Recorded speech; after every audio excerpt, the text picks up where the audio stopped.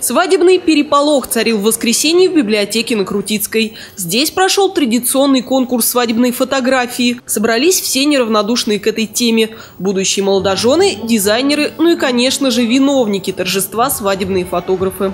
Мы считаем, что конкурс важен, он э, позволяет людям формировать хороший вкус, позволяет молодоженам лучше ориентироваться на рынке свадебных услуг. Хотелось бы, чтобы услуги были качественные, чтобы потом да, молодожены не лили горькие слезы над испорченными свадебными фотографиями, ведь свадьбу второй раз не сыграешь. Да? Соответственно, фотограф такой же важный человек на свадьбе, как, наверное, сами жених и невеста. Звание лучшего фотографа на этот раз были удостоены сразу двое – Кирилл Соколов и Вячеслав Толоков. Но праздник это не только для людей с камерами. Для будущей ячейки общества такое мероприятие неплохое подспорье в подготовке торжественного события.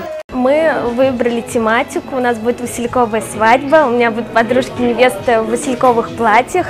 Ну, все будет украшено в таком стиле, вот так. Свадьба хоть в следующем году, да, но мы уже задумались о фотографии. Ну, помогло это, конечно, посмотрел фотографии, кто как фотографирует, вот так.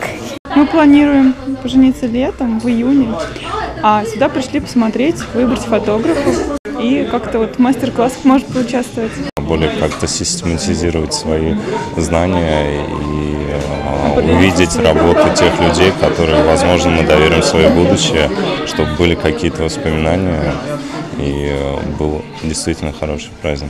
Какой образ наиболее выгодно подчеркнет красоту невесты, можно было узнать на специальном мастер-классе по визажу. Флорист помогал молодым с выбором букета. А это уже немалый вклад в планирование грядущего самого важного события в жизни.